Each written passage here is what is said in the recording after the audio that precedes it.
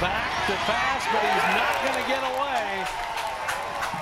That was a great play by Michael Gray. And the snap to Jeske looking downfield, throwing over the middle. It's caught.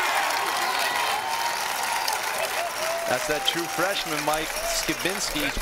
Third down and goal for the Flyers. Jeske to Adams again, and this time Jack gets in, and the Flyers score first on a one-yard run. Yeah, great call by Eric Evans here. Jeske fakes it to Adams, goes over the middle, and a nice catch into Robert Morris territory. Basically an extra point. It's down, it's up, and it is good. And the Flyers will go to the locker room with a 10 to nothing lead as time has expired.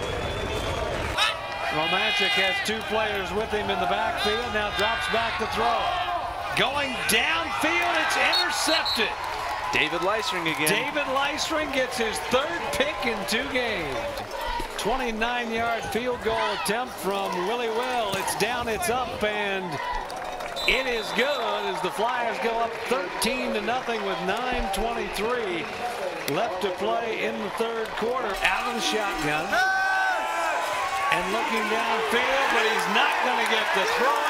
The Flyers are there defensively. Second sack by Michael Gray.